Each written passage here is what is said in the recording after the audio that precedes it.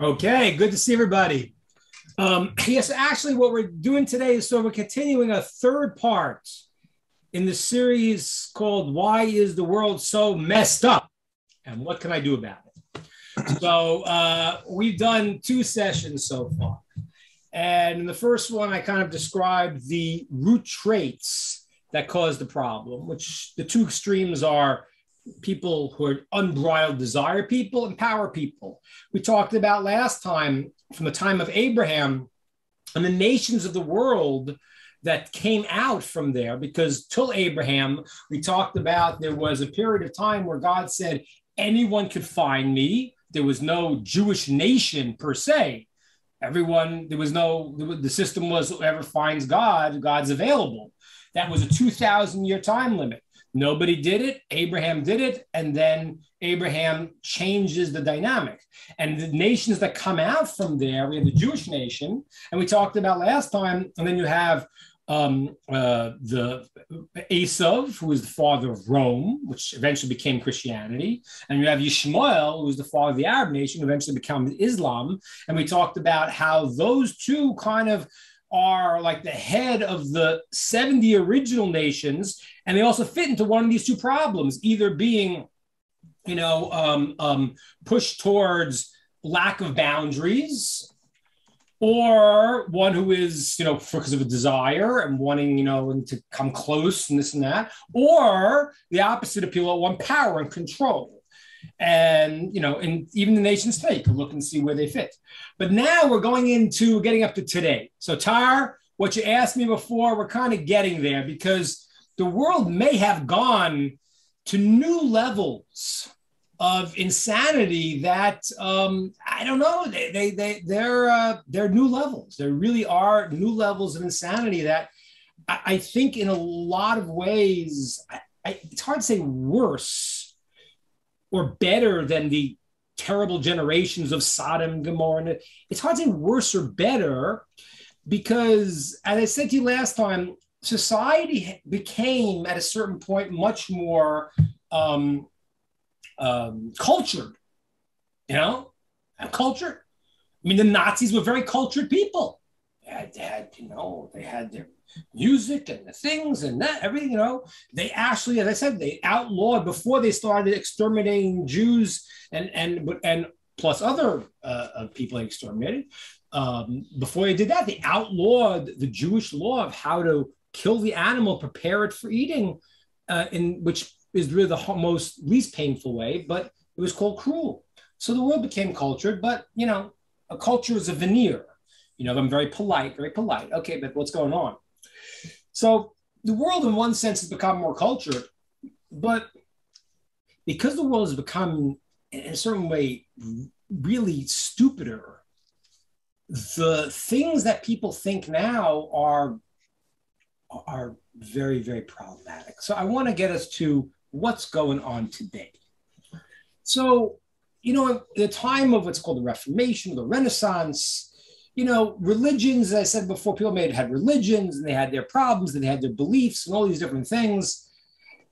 But then as society decided to enshrine an idea of atheism, and there was no longer maybe an idea of, well, I believe this is what I'm supposed to do. You believe this is what you're supposed to do. How do we get along? Now I have a new belief that sort of atheism has um, propagated. I mentioned Darwin. I mean, Darwin, whether it's atheist or not, it's irrelevant. Darwin, as, as I quoted one time, his friend Aldous Huxley said he gave atheists an excuse to explain it because they couldn't explain it before. How did the world get here? Okay, so now I have some way to, okay, it's an evolutionary fact, it's whatever. However, it's not a class in evolution. We can do that sometime. But whatever you say about whatever the story is, it was now if you're if you don't want to believe in God or there was a source or there was a purpose in the world of some sort, then now you have maybe a way to explain it away. Well, you know, it's a random thing. Let's talk about a second. What what is the conclusion? If the world is random? Don't answer that. Think about it a second. Let's say you get up in the morning and you subscribe to this belief that everything is random and it's really meaningless. A guy can walk out, you know, in the street, a safe can fall from the 15th floor, turn into a pancake, and it really doesn't make a difference because there's no right or wrong, there's no good or bad, it's all random.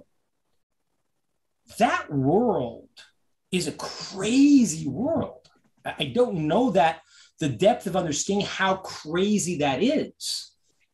It, it, it, it, we're talking about a world that evolves now and becomes more and more bizarre. But think about it. it, it I subscribe to a belief there is a omnipotent, beneficent creator of all that created the world to give me and everyone in it good.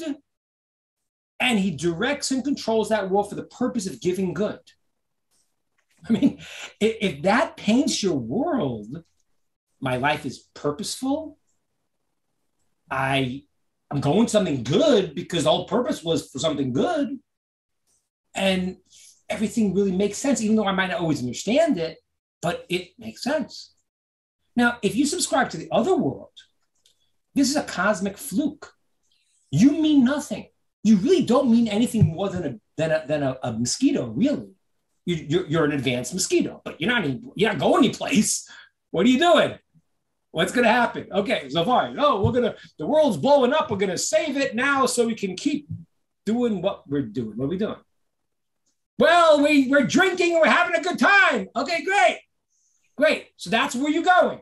So basically, basically the world subscribes to the belief that you are a contented cow. What is the greatest thing to strive for? I feel good. This feels good to me. So why shouldn't I go and do something that may feels good to me if it's going to hurt you? There's no purpose. Well, because there's maybe a law. And I'm afraid that if I break the law, you know, like you have more money. I want more money. There's no purpose. There's no right or wrong. So I would take your money, but I can't because there's this policeman. So I better defund the police. So I'll be able to do that. I'll be able to get what I want. Why not? I don't know that we can understand the mindset of a human being who believes there is no rhyme or reason to life. How do you get up in the morning?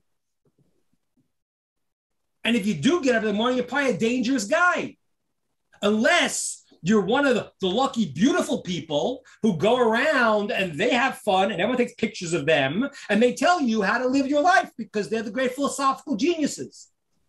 That's really what it is. I mean, it's like, think about it, it's unbelievable. It's unbelievable. LeBron James is going to tell me what's morality. I mean, because you could put a ball in the hoop. Very good. Okay.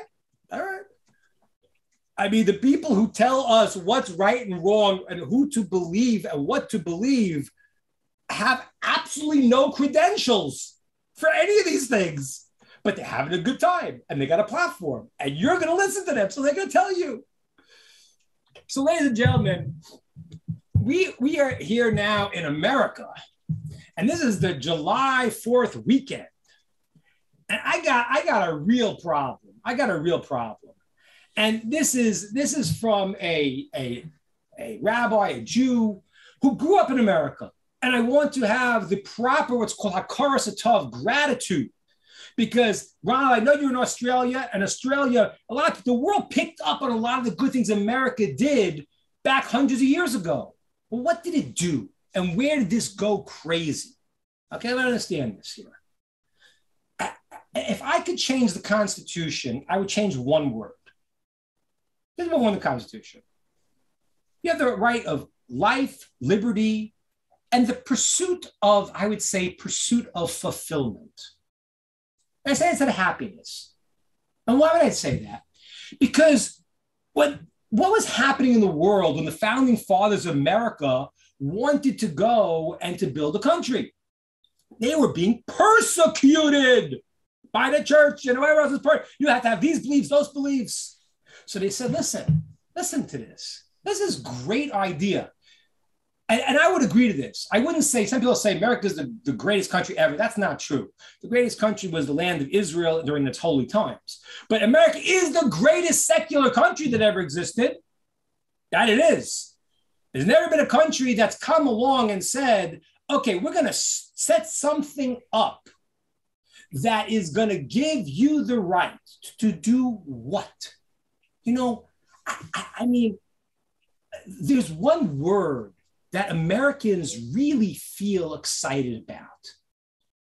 And, and it summarizes what America was and maybe will hopefully again be. And that word is freedom. You hear freedom, you think, yeah, freedom. So, what was America fighting for freedom? What was the freedom they were fighting for? Why was freedom of religion so important? Why was freedom of speech so important? Why are these things so important? Because they understood they were being persecuted because they had different beliefs, whatever. And they understood a human being has to do something and accomplish something that make his life meaningful. And if I believe this is the way to do that, and you stop me, that is the greatest destruction of the human being. You believe in God, and this is when you uh, think you have to serve God. Someone said you can't do it. Oh, that's that's it's my freedom. You know what's my freedom? It's my freedom because it's my freedom to be what I am. And a human being has the great ability. He's not a cockroach, he's not a monkey. He has the ability to go and say, I believe in certain things that have to happen that I need to do as a person. Whether it's the, the, what I believe to be true, how I believe to worship, whatever you believe. So America said, you know what? We're going to make this new system. You can come here and you could be free to do what it is that human beings need to do to express what is important to them in the world. And no one can stop you. And we'll have to make the rules because it's a little tricky. Because if you want to express what is good and what you believe, how do you not infringe on someone else's rights? That was the balance. Now, why did I change the word to freedom, life, liberty, and the pursuit of fulfillment? Why did I take the word happiness out? Not because what they, the founding fathers of America made a mistake. I think they were very intelligent people. They studied some Torah. They were very, very, very wise people. Very, very wise, very smart people. Why did I change the word? Not because of them, because the idiots today. Because the word happiness that they were talking about was what is happiness? What is happiness? Just think about it. So what, what, what, what's happiness? Well, if I get a big car and a big house and I make a lot of money, I have happiness. Right? If I get this, if I get this, if I become this star, I'll have happiness. Right? Wrong. Right? As Mary's saying, no, lot. She knows this. That's crazy. But you know what happens that is what people understand. Happiness is not a thing, it's an object. You can't get the object. What is happiness?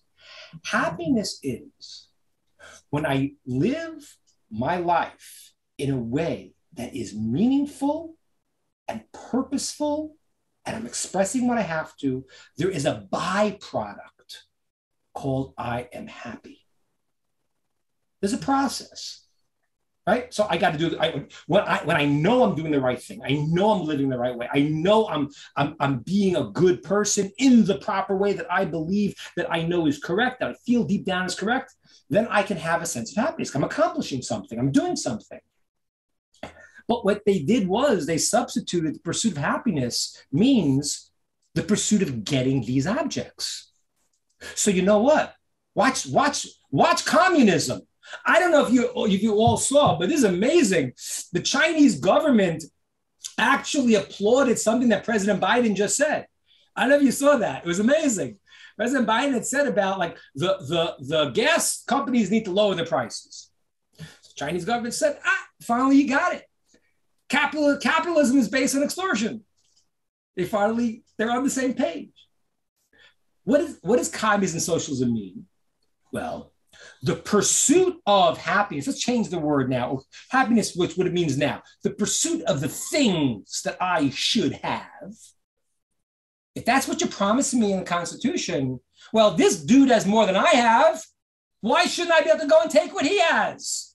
If that's what I'm promised, life, liberty, and the stuff. So let's redistribute it, give, give everyone what they should have.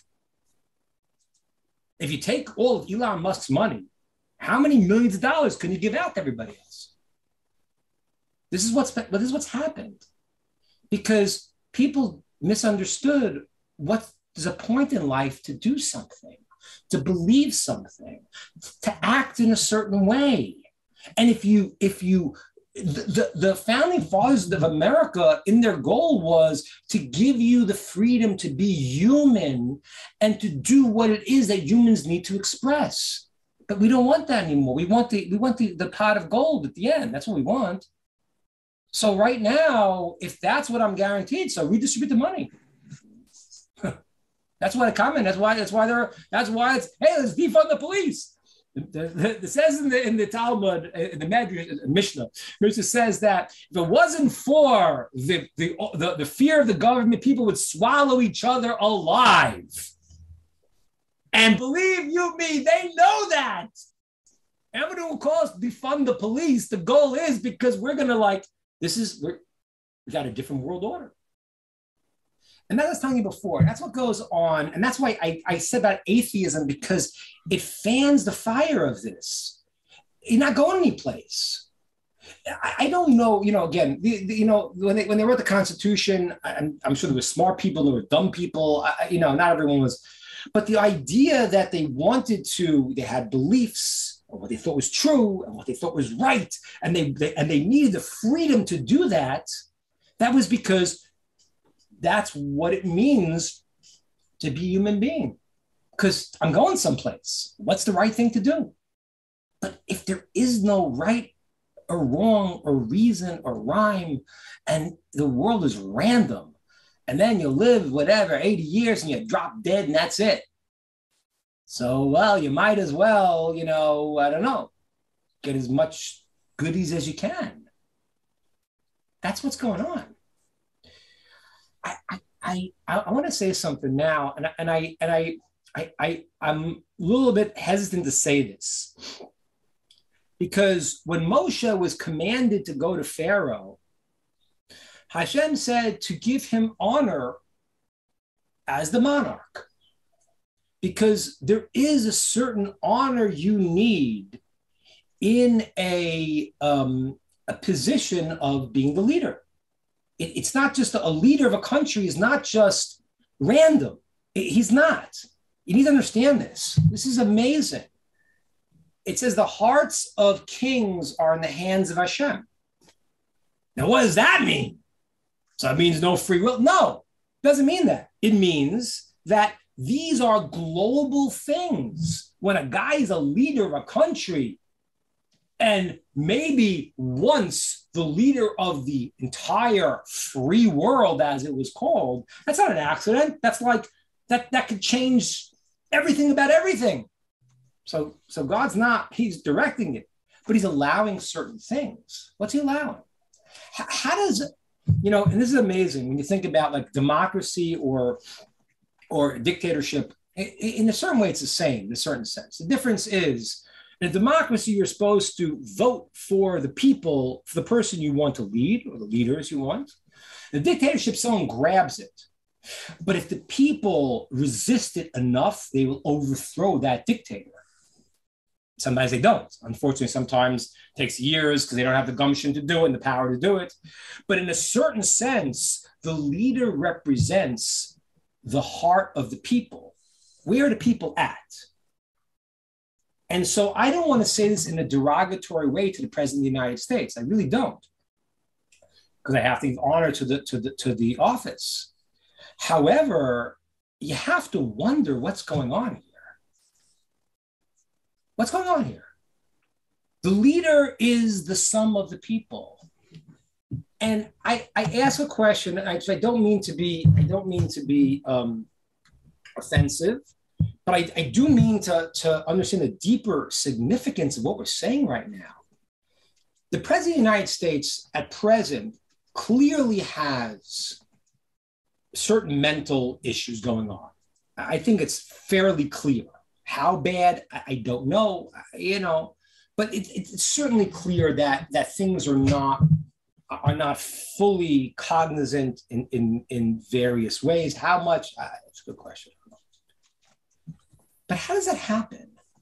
As a leader of the country, not have all his faculties? What's the deeper meaning of that? You know the deeper meaning of it is, and I, I hate to say it, but it, it's another outgrowth of this atheism philosophy as it just goes out of control. It's because the people have lost their most basic common sense. Uh, uh, it's unbelievable.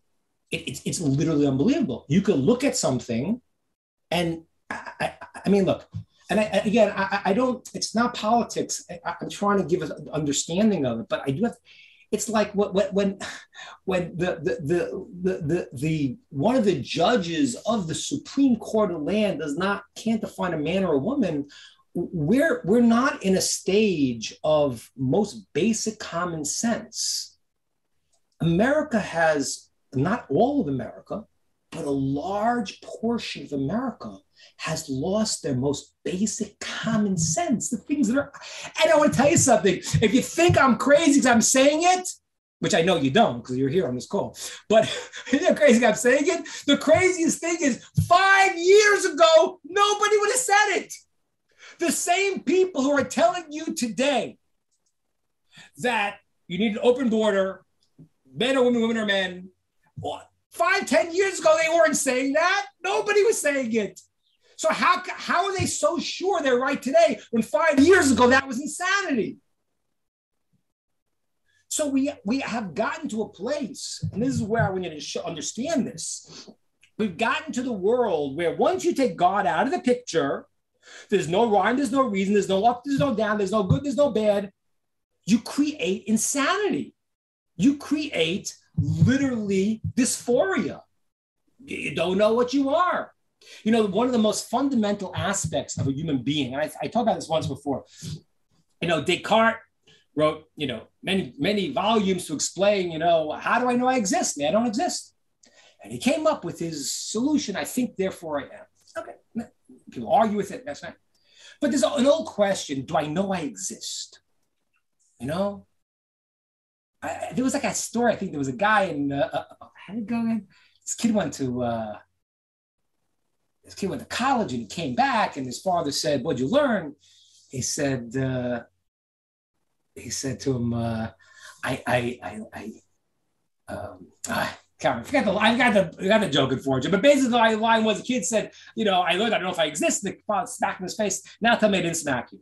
So so what it was was that there's a certain philosophy that you're making that deep down intrinsically you all know you exist in Torah, it's called the das. It's called the most fundamental, basic aspect of the human being that I know it to be true. You want to write a thousand pages to prove I exist? Okay, great. Maybe read, may not read it. But if you don't know you exist, you got a problem. You do know you exist because it's the most fundamental aspect of being a human being. I know. I just know. So when a person says now, I don't know if I'm male, if I'm female, if I'm this, if I'm that, the most basic understanding of human common sense of logic has escaped many of the American people. And that's the reason why a leader could be put in that's a rubber stamp for an agenda. That's what's happening. Because I don't know. Just point me what's what's the right thing to say. And ladies and gentlemen, this is this is where you know we talked about before. You know why the world went so nuts. So here today, I'm tying it to you to the idea of of taking God out of the picture, and then there's this dysphoria and anarchy. Anarchy. I mean, what America is is facing anarchy right now, because. But I'm explaining to you why because it's no longer a place where I'm saying freedom to strive for what I think is true. That's not what it is. Freedom to get what I want. And give me that, give me yours, give me yours is coming next because that's what that's what it's about.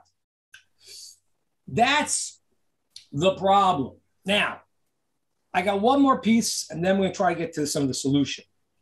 And the second piece I have, this is honestly, I hate to say it, it's even more problematic, even more problematic. Because a lot of people, a lot of people who have common sense and you could talk to and might hear are experiencing something that has never happened on this level before in history. You have a thing of massive brainwashing. It's massive. It's literally, I mean, I can't think of a clear, massive brainwashing. If you say your opinion, that's it. We can destroy you. In Torah law, there are serious, serious offenses to say something negative about somebody. But today, if I think your opinion is wrong, I can vilify you, destroy you, call you a Nazi, call you whatever I want, and everyone in the crowd is going to just jump on the bandwagon. And that's a massive brainwashing you've never seen before with social media. And this is where the danger comes in because the kids who don't know any better are being brainwashed constantly. I do not know what I would have thought growing up as a kid watching television. You know, when I was a kid, it's like, you know, the racy stuff was the Brady Bunch, you know? Like, it was like, you know, oh no, I love Lucy. What trouble did Lucy get into now? You put on the TV today, and a kid, a little a kid watches something says, Is this reality? Is this right? Is this wrong? And you're inundated with a brainwashing that even Mickey Mouse is now supposed to brainwash you to believe this dysphoria of reality. This is, ladies and gentlemen, as I start this series, and I want to get to the beauty of America because it is the 4th of July, and America is, is a, a great country, and we need to save the country. We need to save the country. Now, I'll get to that in a second, but this is the process here. We have gone from a time of 2,000 years in the beginning where God said, anyone could find me. People, their desires took them all crazy ways. They went where they went. Abraham, then we have this new stage. And then people having, Abraham is given a system of truth, and people are changing the truth and having their own truths with their problems. Third stage that we're in now is that there's no longer a place of truth. There is no truth.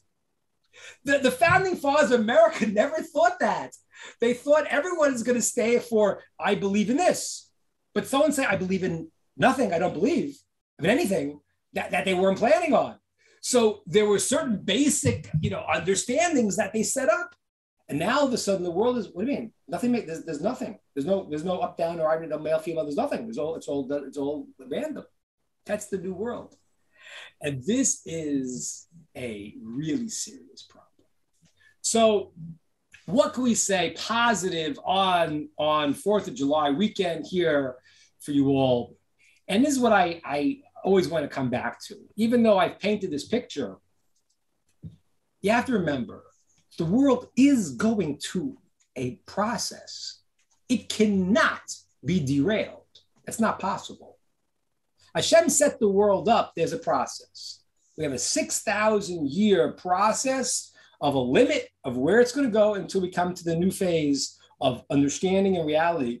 And this last phase only has maximum 180 years. So, you know, again, it's a lot, long time, but the world is getting towards the a point of understanding. And as we get close to that point of understanding, as it says, that uh, one opinion is that before the Mashiach comes, the people will be completely insane.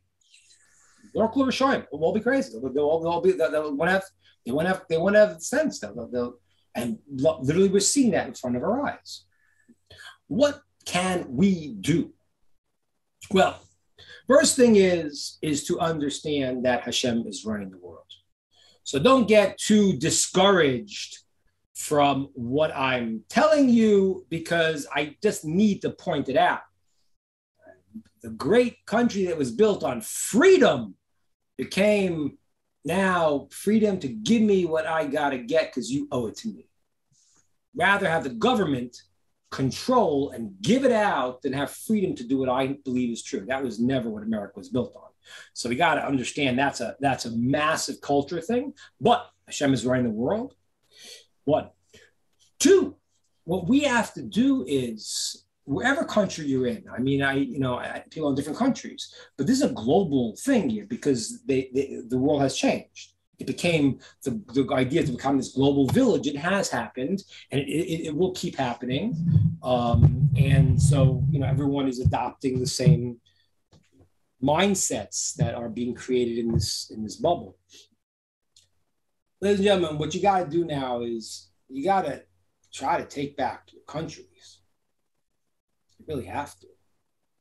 Now, you might not be able to. You might not be able to. You might be able to by, your, by yourself but you have to try to educate your kids and your grandkids and uh, how, how, to guard them from that that that, uh, that smartphone and everything I, I don't know in israel in israel the rabbis are very strict and, and most people in the more observant world don't have a smartphone because you just haven't opened up boxed everything. So I, I, don't know how you control that. I mean, parents should get as many filters as they can and try to teach their kids how to how to communicate and, and what not to say. And to understand, like, you know, like the values that come out are, are completely contrary. Like the, you know, I one time a student of mine said to me, the Rabbi, say something on Facebook, you know. Um, you know, I want you to so I said an opinion on something that it was a bit controversial but but I knew people were seeing it not correctly, and I wanted to straighten it out. So I, I said it in a very respectful way. And then like people all of a sudden who would never talk to me as I'm, I'm the rabbi, wouldn't talk me to my face. They felt very free on Facebook to just like, you know why? Because it's a vehicle of what's called lashon hara. That's what it is. It's a vehicle of slander. It's a vehicle of lashon. So you got to teach your kids and your friends and people you can influence not to see the world this way. So what's happening right now is why is the world crazy? Because it's gone in this whole process, and now it's in the process of meaninglessness. And that's why it's getting so nutty tar. You want to know why it's getting out of control? Because there's no meaning to anything. It's all random. And so people are just creating havoc. That's something right now that we have to first pray, ask Hashem to help us, especially in our countries, especially, especially as Noachites. Why? Because uh, you don't want to get swept up into other people's insanities. So we have a responsibility to influence, to try. We can, but especially, you know, we saw the story of Sodom. You know, uh, you know, there, there weren't enough people there. Well, you know, yes, you know, in, Abraham's prayer to God during time of Sodom, if there'd been ten righteous people, they would have been they would have been saved the whole town. And if there were a few righteous, they got saved. So what got saved? Abraham's merit, okay. But but but there has to be the goodness there in the in the nation and there is. There's a lot of it still in America. That's why we're doing this, because I think there's a credible ability now in the world, just America, in the world, Canada, uh, every place, every Australia. There is, a, a, a, and this will happen. I guarantee you it will happen. There will be a point where people will understand, and the negative people who refuse to understand will fade away, and those who understand will continue and thrive in the ultimate revelations of the world, times of Mashiach and, and what's coming, and things that, that we are promised to happen. But right now we're in we're in the battle, in the battle. So you have to have know God's directing it. Don't get discouraged, and two, do everything that you can to speak up because you're speaking up not just as a political person, you know, every group, every political group has their own, I hate to say it, their own idiots, you know, like, uh, you know, I hear some people talking on both sides. I'm like, really? That's what you believe? That's what you think? not really thinking, but you're you're you're a, you're a you know lifetime politician. So you say you say the words, and there are but there are smart people too who do hear some stuff, and and it's important to go and and to let your voice be heard. The, the, the what's going on of like you know shutting people down who disagree you know the disinformation, the 1984 disinformation committee. I, I mean, it's unbelievable. Uh, the, the, the, you know, I know one thing: when someone lies all the time, they tell me someone else is a liar. I'm not going to believe that guy either. The second guy, I know the first guy. So, so we have to understand that now, and and not let ourselves get shut down, not as an agenda, because I need to stay there. No, because God wants you to do what is right. And, and, and when someone says something to you that's wrong, and and you just kind of like agree with it, you're you're letting negativity flourish because you're not disagreeing in a respectful way. But no, this is wrong. Oh, can you this and you that. You think you're so smart. Okay, great let's see the same five years from now and the whole thing falls apart. So that's my that's my thought. And that is how I tie together the last of, of the world getting to where it is now, Tar. That's why it's as nutty as it is. We got to go and try to, you know, to uh, to stand up. But uh, it was an old Bob Dylan song I think called "God on Our Side." So you're on the side of of right when you're on the side of right, you'll eventually win. Just stick with it. Okay, that is my thought. We're opening it up to everybody.